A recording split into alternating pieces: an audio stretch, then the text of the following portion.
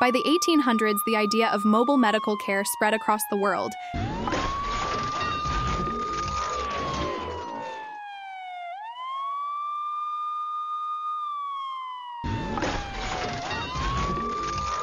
The arrival of the automobile transformed emergency response.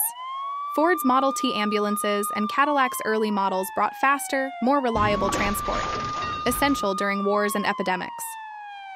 The 1940s marked another leap, as military ambulances like the Dodge WC 54 brought life saving speed to the front lines.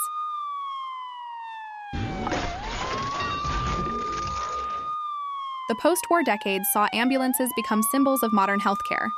Sleek Cadillacs and Chevrolets roamed cities with flashing lights and sirens. By the 1970s, modular and Type 1 3 ambulances emerged, introducing boxy, functional designs that defined emergency care for generations.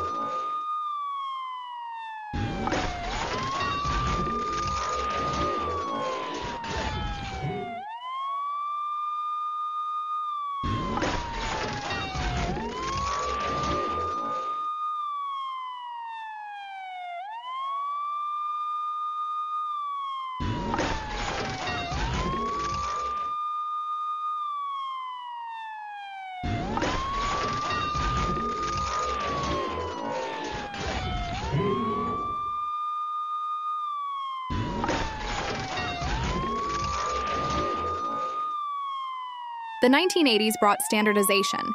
E Series Fords, Freightliners, and purpose built vans dominated. These were no longer modified hearses or station wagons, but fully equipped emergency units, mobile ICUs with oxygen, monitors, and defibrillators.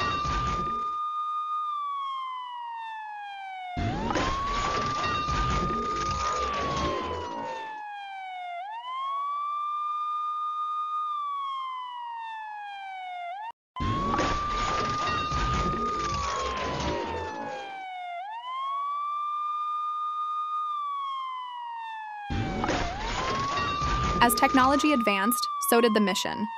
From sprinters to the fully electric Ford e Transit, ambulances became cleaner, quieter, and smarter, integrating AI diagnostics, real time telemetry, and even electric drivetrains.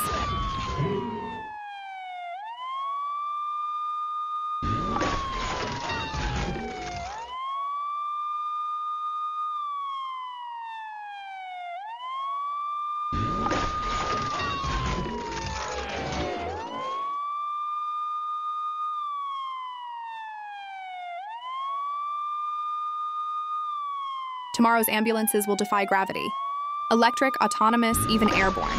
These machines will merge robotics, telemedicine, and AI into one seamless system of care. From hydrogen power to drone assisted first response, the ambulance is no longer just transport. It's the future of emergency medicine.